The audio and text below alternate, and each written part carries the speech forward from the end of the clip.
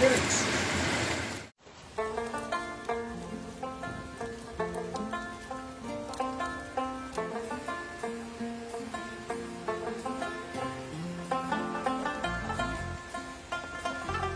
मेरा नाम फिदा है।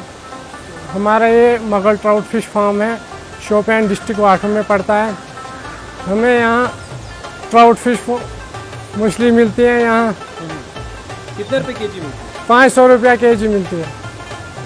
बाकी मछलियों से ट्राउट फ़िश में क्या डिफरेंस है? इसका कांटा भी नहीं होता है टेस्ट में भी बढ़िया आता है इसका।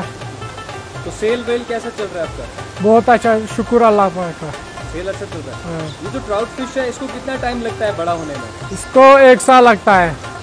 एक साल? हाँ। और इसके लिए कौन सा साफ़ पानी होना चाहिए? हाँ अच्छा पानी होना चाहिए। अच्छा पानी होना चाहिए। और कितने टाइम से आप ये फार्म चला रहे हो यहाँ पे? 2010 से चला रहे हैं। 2010 से आप ये फार्म चला रहे हाँ? तो कैसा रिस्पांस है? लोग आते हैं यहाँ पर? कितने लोग आते हैं? बहुत आते हैं और रेस्पॉन्स भी अच्छा है। फिशरीज डिपार्टमेंट जो है उसकी तरफ़ से कौन कौन सी आपको स्कीम वगैरह मिलती है? हाँ पहले मिलती है। जब इसको बनाते हैं वो पहले सब्सिडी डालते हैं। और जो ये फ़ीड है उसको भी इंश्योरेंस अगर वो ख़राब हो जाए उसका भी इंश्योरेंस मिल जाता है। कुल मिला के मतलब फ़ायदा अच्छा है। फ़ायदा अच्छा है। बस एक काम है हम यही अपील करना चाहते हैं फिशरी डिपार्टमेंट से वो इसको जब ये लॉस हो जाता है मछलियाँ कोई दवाई डालता है कुछ हो जाता है लॉस हो जाता है। इसलिए हम फिशरी डिपार्टमेंट से अपील करना चाहते हैं वो इसको इंश्योरेंस करे।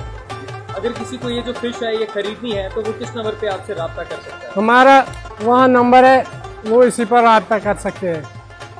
होम डिलीवरी भी हो जाती है कि नहीं? यहाँ नहीं लोग यही आ जाते हैं हैं? यहीं पर आते हैं। हाँ जी।